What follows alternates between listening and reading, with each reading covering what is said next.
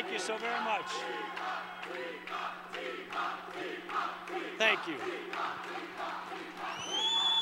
Thank you very much. I appreciate it. Thank you.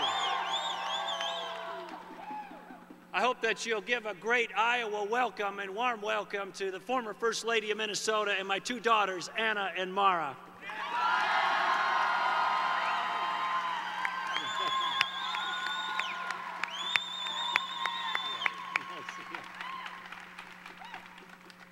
Thank you for being here today. Thank you for loving America. Thank you for your patriotism. And thank you to be on this journey for taking back our country from Barack Obama.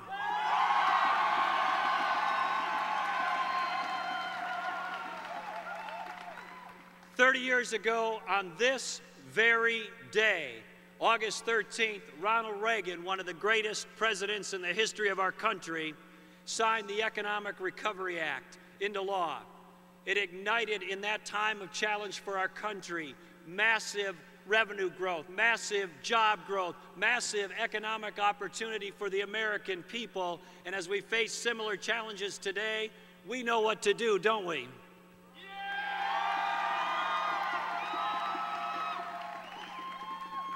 We know what America needs. But unfortunately, Barack Obama has absolutely no clue. He is like a manure spreader in a windstorm.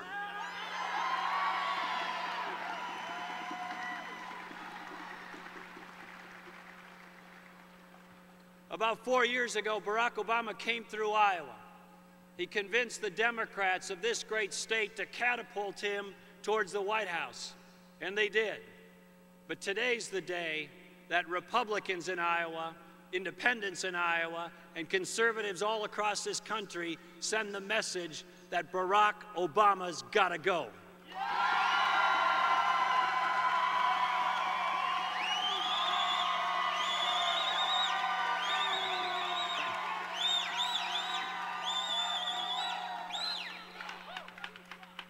He's been talking a lot about the full faith and credit of America's debt. Barack Obama should put his full faith and credit in the American people.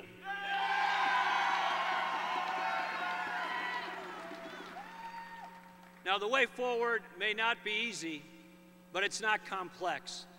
As we look over the history of this great nation, we know what works. We can see the lessons of America's greatness and bring them forward to the challenges of our time. And here they are. Let's be a nation that puts its trust in God first and foremost.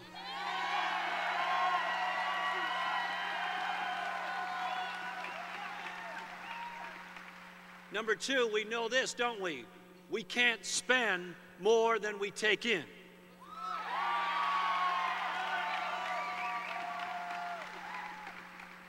And we also know as we watch him going across the world apologizing for America, denying or ignoring America's exceptionalism, that we need to make sure that the president, and when I'm president, I'll do this, we will maintain the peace by maintaining our strength.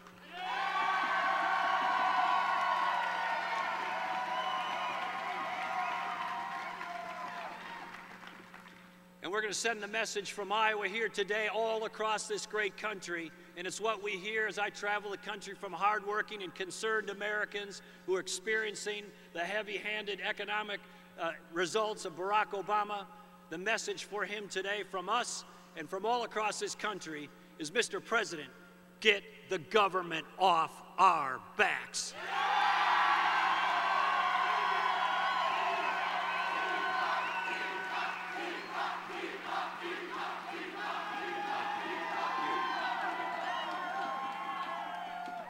Let's give them uh, a, a start on that agenda. First, Mr. President, repeal Obamacare. Number two, Mr. President, please come before the country and tell us why you oppose a constitutional amendment to balance the budget. We want it, and the country deserves it, and you should support it.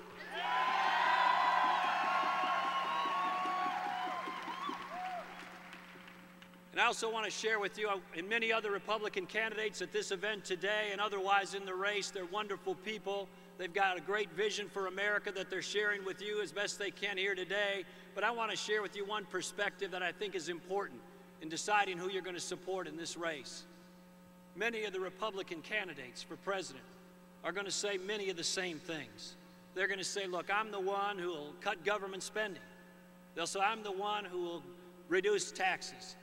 They'll say, I'm the one who will stand for the cause of life. They'll say, I'm the one who will stand for traditional marriage. They'll say, I'm the one who will do health care reform the right way, and so on.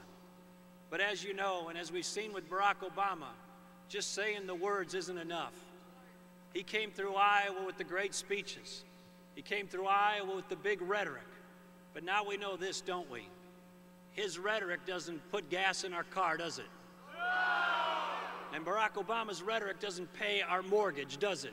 No. And Barack Obama's rhetoric doesn't pay our health care premiums, does it? No! And Barack Obama's rhetoric doesn't put our kids through college and pay the tuition, does it? No! And Barack Obama's rhetoric doesn't give us a job, does it? No! Is it time for Barack Obama to go? But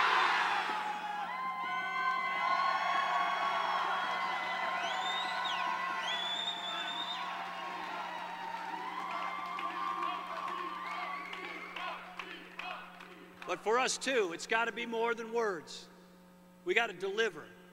And so I stand before you as a candidate who stakes his uh, claim to Iowa and his claim in this race here today in large part on the fact that I don't just talk about it, we get the job done for Minnesota and for America.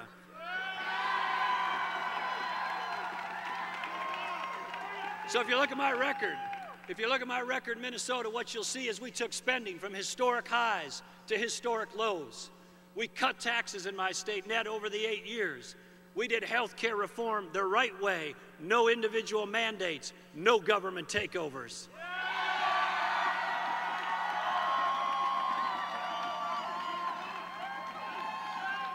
We advanced the cause of life and traditional marriage in historic ways. We did public employee pension reform before it was cool and popular to do it in the rest of the country.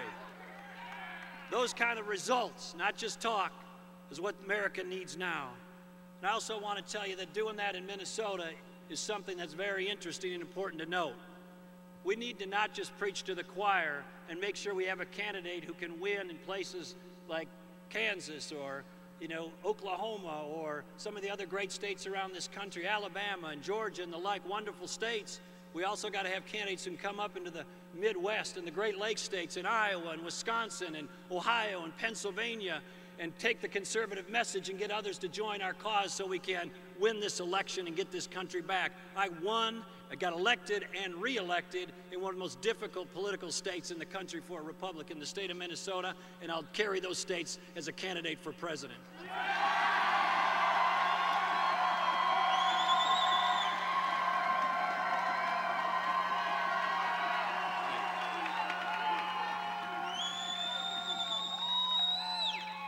Look, the way forward may not be easy, but America can overcome challenges, as you well know.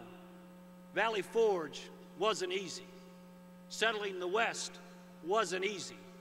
Winning World War II, for sure, wasn't easy. Going to the moon wasn't easy. But this isn't about easy.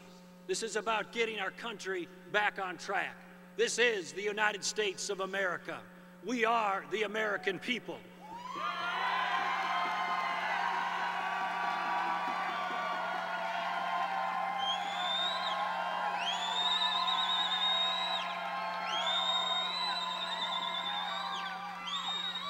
The founding fathers created it.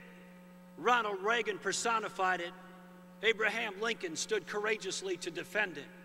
And now the call comes to each of us in our time as our country again faces great challenges. This is the greatest nation the world has ever known. If we stand courageously to defend it, if we do everything we can to defeat Barack Obama and get this country back on track, we will have done our duty. We are the American people. It is a government for the people, by the people, of the people. We will remain the greatest nation the world has ever known, and our country will not perish from the earth.